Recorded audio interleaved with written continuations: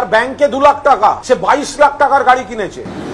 এবার দেখুন আমার বাবা কার নামে গাড়ি কিনবে? তো কুণাল ঘোষের বাবা ঠিক করবে না? মানহানি হয়েছে। চাইতে হবে ক্ষমা। ক্ষমা না চাইলে শতরূপের বিরুদ্ধে আইনি পদক্ষেপের হুঁশিয়ারি কুণালের। ইতিমধ্যেই শতরূপের কাছে আইনি নোটিশও পাঠিয়ে দিয়েছেন কুণালের আইনজীবী অয়ন চক্রবর্তী। যা নিয়েই ফের চর্চা বঙ্গ রাজনীতির আঙিনায়।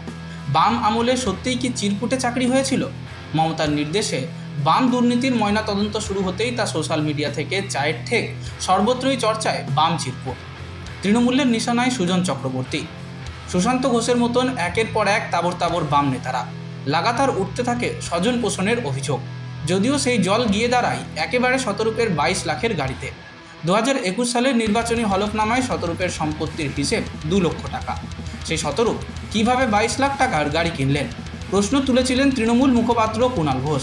পাল্টা কুণালকে আক্রমণ করতে গিয়ে বিতর্কিত মন্তব্য করতে দেখা গিয়েছে বাম যুবনেতা শতরূপ ঘোষকে। এই ইস্যুতেই এবার শতরূপকে আইনি নোটিশ পাঠাতে দেখা গেল কুণাল ঘোষকে। এদিকে কুণাল প্রশ্ন তুলতেই শতরূপের স্পষ্ট উত্তর ছিল যে গাড়িটির কথা বলা হচ্ছে সেটি আমি জানুয়ারি মাসে কিনেছি। এই গাড়ির টাকা আমার বাবা নিজের ব্যাংক অ্যাকাউন্টের চেকে করেছেন। আমার বাবা মা দুজনেই কেন্দ্রীয় সরকারের অধীনস্থ সংস্থার কাজ করেছেন। বাবা চেকে এই গাড়ির টাকা দিয়েছেন। তার সব নথি আমার কাছে রয়েছে। এরপরেই রীতিমতো চ্যালেঞ্জ ছুড়ে দিয়ে বলেন, কেন্দ্রের যেমন আয়কর দপ্তর ওইডি রয়েছে, তেমনি রাজ্যের হাতেও ইকোনমিক অফেন্স উইং বলে একটি সংস্থা রয়েছে। যদি কোথাও টাকা পয়সা নিয়ে কোনো সন্দেহ থাকে তাদের, তাহলে সোশ্যাল মিডিয়া না বলে সেই সংস্থাকে দিয়ে তদন্ত করাতে পারে। একই সুর শোনা গিয়েছিল বাম নেতা সুজন চক্রবর্তীর বলাতেও বলেছিলেন, বাবা কিনে দিলে পার্টি কি করতে পারে? আর টাকা পয়সা নিয়ে সন্দেহ থাকলে তদন্ত করুক সরকার। কিন্তু কুণালের রাগটা কোথায়? তার ব্যাখ্যা আইনি নোটিশে করেছেন কুণালের আইনজীবী। যে আইনি নোটিশ পাঠানো হয়েছে শতরূপকে, তাতে লেখা হয়েছে, বাইশ মার্চ আপনার গাড়ি নিয়ে করা কুণাল ঘোষের ফেসবুক পোস্টের পরেই আপনি একটি প্রেস কনফারেন্স করেন, যা রাজ্যের একাধিক বড় বড় সংবাদ মাধ্যমে দেখানো হয়। সেখানে আপনি কুণাল ঘোষের বিরুদ্ধে একাধিক অপমানজনক কথা বলেছেন। আপনি বলেছেন, আমি জানি না, হতে পারে কুণাল ঘোষের বাবার হয়তো কুণাল ঘোষ ছাড়াও অনামে বেনামে আরও এদিকে ওদিকে সন্তান ছড়িয়ে রয়েছে। ওনার বাবা হয়তো যখন কিছু কিনতেন, আমি জানি না, হতে পারে। ওনার প্রশ্ন শুনে মনে হচ্ছে, অফিসিয়াল, আনঅফিসিয়াল।